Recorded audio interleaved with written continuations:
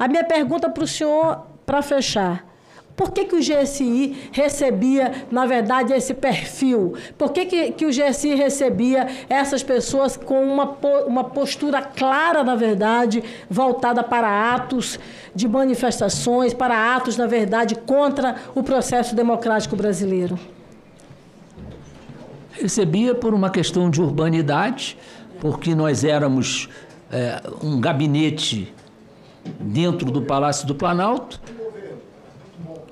e era um, é uma questão de, de educação receber quem quiser comparecer. Agora, eles eram os acampamentos, eles compartilhavam com o senhor o que estava acontecendo nos acampamentos? Eu não, nunca fui ao acampamento, não compartilhava nada do acampamento. Eles não iam lá para compartilhar comigo é, posições políticas, nada disso. Eles iam lá para tirar foto, para é, tirar, fazer vídeos sobre ataques à democracia brasileira. Isso, Muito isso obrigada. Aí, isso a senhora os vídeos estão tá aqui. dizendo. Os vídeos estão aqui. Eu não vou passar porque não tem mais tempo. A senhora está É, dizendo, pô. Eu quero só fechar, na sua opinião, as eleições brasileiras agora em 2022 foram fraudadas?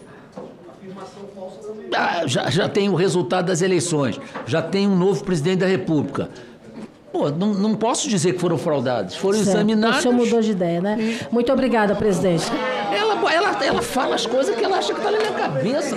Porra, é pra ficar puto, né? Puta que Presidente, Passo- por a favor, palavra respeito à relatora, ao presidente. próximo. Está demais. Peraí. É muito desrespeito com a Passa a palavra ao próximo orador inscrito, que é o autor do requerimento, senador Isalci Lucas.